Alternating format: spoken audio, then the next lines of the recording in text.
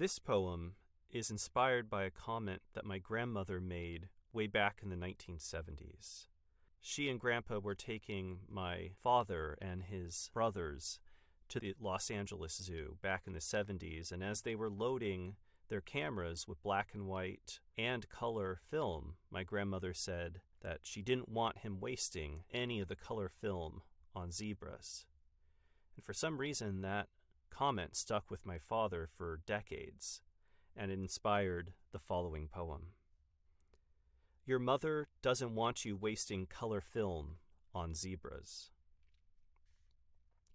Feel free to spend your film on boulders mistaken for Galapagos tortoises, the fleshy eclipse of a thumb obscuring a monkey, the anonymous neck of a giraffe decapitated by the viewfinder, or the pigeons pecking your trail of dropped popcorn, even though we can see them at the corner park for free. Color film is for the pink haze of a flamingo across the lagoon in a distant flamboyance, the captured yawn of a tiger remembered as a roar. But most of all, do not waste your color film on zebras. They live in an impossible world of black and white contrast, defined binaries and geometries. A baby zebra imprints on her mother's stripes, memorizes the pattern, follows its map for life across the dusty savannah.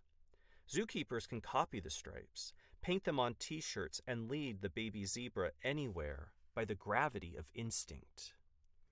Do not trace the familiarity of my veins when you should be scribbling off paper. Zebras are born with a predestined ending, always after the xylophone or x ray. They always know their place in the taxonomy of all living beings, but it comes at the price of accepting. They're the untouched page in the coloring book.